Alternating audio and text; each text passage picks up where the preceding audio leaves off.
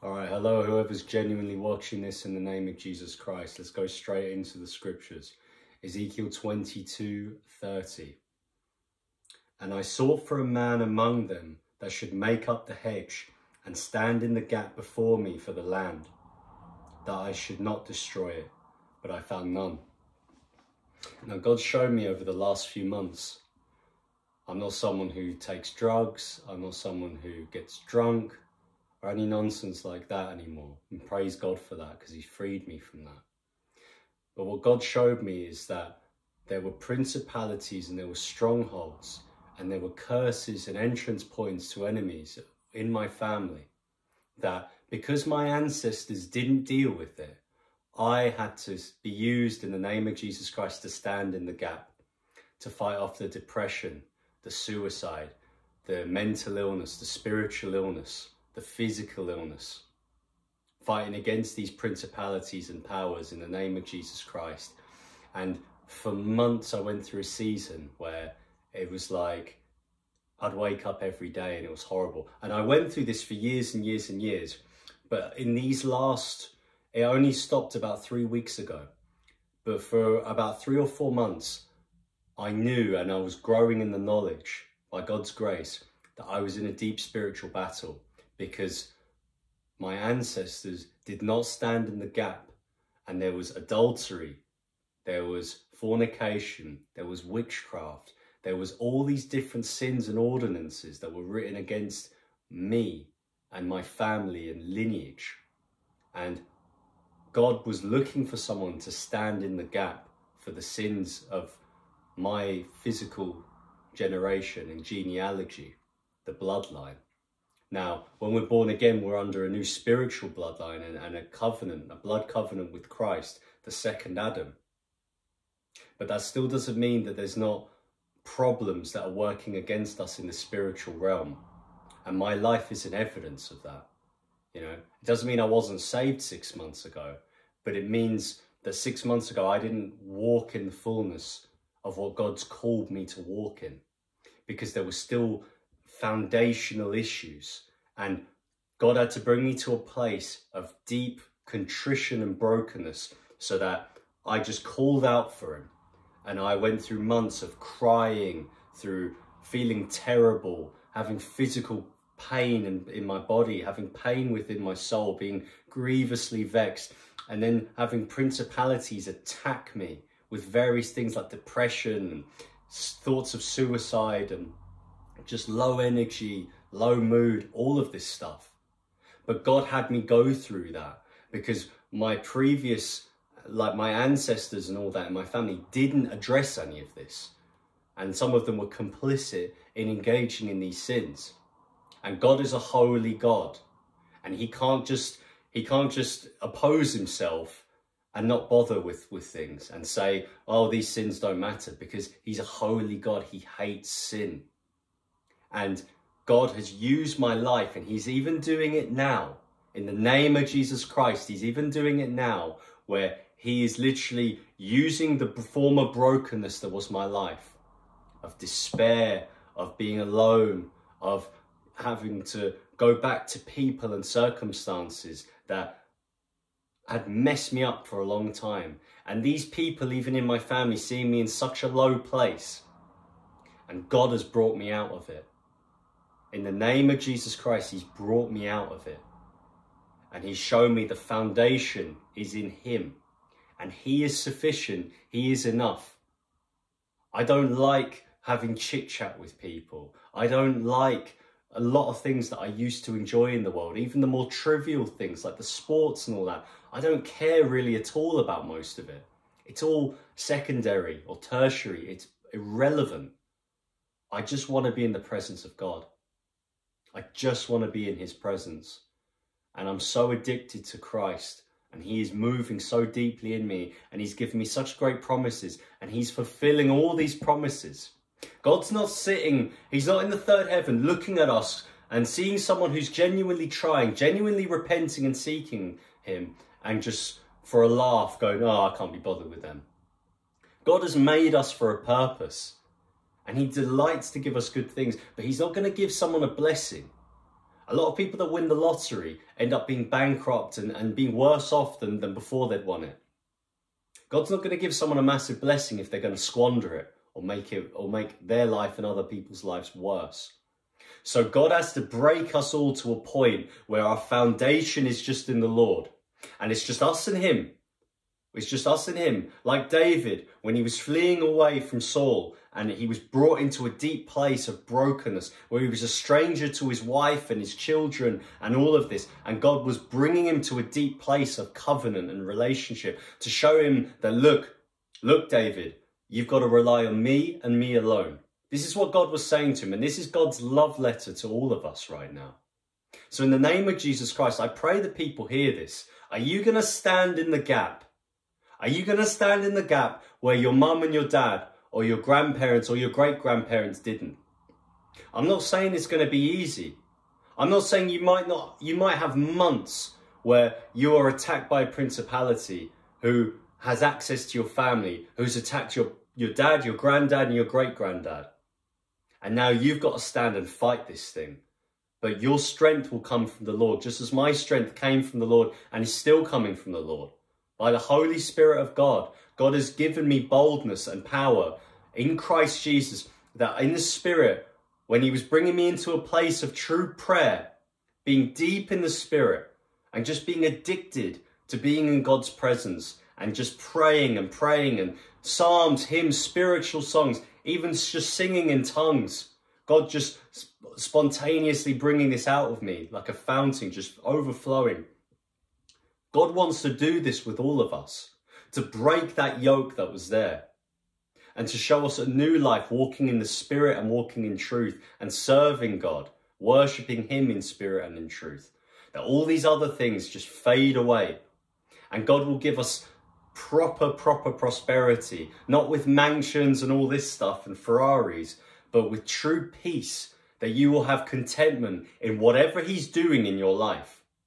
You will have contentment whether he gives you a million pounds. You'll have contentment whether you have one pound in your bank account. You'll have contentment whether you're betrayed by money. You'll have contentment whether people are coming to and being led to you by the Lord to be discipled. Because you will know that God is leading you. And this is what God has done in my life. And I'll tell you exactly how he did it. So this is it. He led me to a place of brokenness. And every day, and I still do this now, every single day, I wake up, I put on the whole armour of God and I say, Heavenly Father, I thank you for making me. I thank you for your Son, the Lord Jesus Christ. Thank you for dying for my sins. Thank you for washing me in your holy blood. And then what do you do? We're soldiers. Got to put on our armour. I put on the helmet of salvation. I am saved by you, by your grace, Lord Jesus Christ, which is a gift. I have this, the mind of Christ, which thought it not robbery to be equal with you, God, but I take on the form of a servant. I'm renewed in the spirit of my mind. I have on the breastplate of righteousness. I have on the circumcised the single heart of flesh, and also a single mind, because a double-minded man's unstable in all his ways. I have the shield of faith quenching every fiery dart of the enemy. And at times when God has shown me in the spirit, this shield has been like a, basically like a bubble around me and it's protected me. It's saying low battery. Lord, keep this video going. And the sword of the Spirit, which is the word of God. This is the Lord Jesus Christ, the sword of the Spirit. And we put on the belt of truth. Our loins, our loins are girded with the belt of truth. And then our feet are shod with the sandals of the gospel of peace. And his, this has been a big one for me. He gives us a garment of praise that replaces a spirit of heaviness. So all this heaviness, all of this depression, feeling like you have a body bag, feeling like there's just a massive, massive pressure against you, which is what I experienced for years. I'm talking over a decade. And this broke men and women in previous generations in my family, sent some people even to mental asylums. Even at the age of 18, I was in a mental asylum. I didn't want to be alive anymore. And God's brought me out of all of that. I'm 30 now, and I am a new creature in Christ Jesus. And all the former things have passed away, and behold, all things have become new. And I have on the robe of righteousness, the righteousness of the Lord Jesus Christ, which He's imputed, He's put it on me. That all my sins have been written off. And our Father in heaven, He sees me now as if I've never sinned. My sins are in a sea of forgetfulness. I've forgiven everyone. I've blessed my physical enemies. And in the Spirit, God has taught me how to fight and how to wage warfare against the enemy. And God is rescuing many people in and around me now. And my life and your life too, God wants to use your life as a great testimony. He's using my life as a testimony for people who have been broken, who feel like nothing's ever going to change.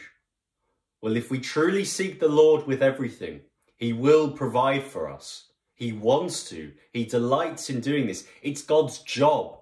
So I wake up every day, I put on the whole armour of God, and I bless Him. I'll say the Lord's Prayer, and I'll say, Lord, what do you want me to do? And then I listen. And we pray in the name of Jesus Christ for ears to hear, eyes to see Him, a mouth to speak His glory. And I listen. And what He tells me to do, I then do. And I ask Him throughout the day, led of the Holy Ghost, Lord, in the name of Jesus Christ, what do you want me to do? And I wait and I listen. And when I'm led, I test the Spirit sometimes. I say, if you are of the Lord, say with your own mouth now, in the name of Jesus Christ, that Jesus Christ has come in the flesh. And either they'll confirm and they'll repeat those exact words, or they'll say nothing, or they'll struggle to say it. And we pray for discernment of spirits as well, to truly know when the Lord is speaking to us, because many false prophets have gone into the world. But God is amazing. He is truly amazing.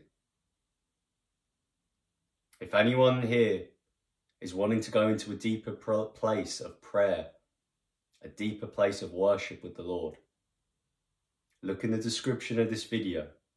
Drop me an email.